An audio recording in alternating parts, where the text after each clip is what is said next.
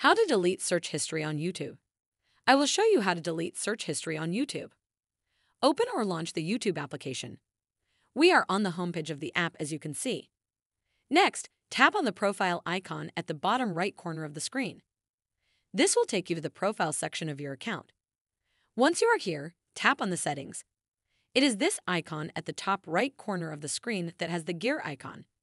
We are on the settings page of the YouTube app where there are options that you can use to make changes to the settings of the application. From the options that are here, tap this one named Manage All History. Please wait for the page to finish loading. This is the page where you can manage the YouTube channel history as you can see. Make sure you are logged into the account the channel is connected to. You can switch between accounts by tapping on this option here at the top right corner of the screen. As you can see, here is a list of the videos you have watched on YouTube starting with the most recent ones.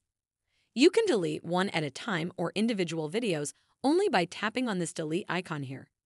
You will get this confirmation pop-up where you are required to confirm your action. Go ahead and tap here, delete, and the video gets deleted. To delete all the videos, do this. Tap on this drop-down menu named Delete. A drop-down menu with options shows up as you can see. From the options, you can choose between three categories I will delete the search and watch history for today only by tapping on this option or named Delete Toda. As you can see, the watch history of today gets deleted. That is how to delete search history on YouTube.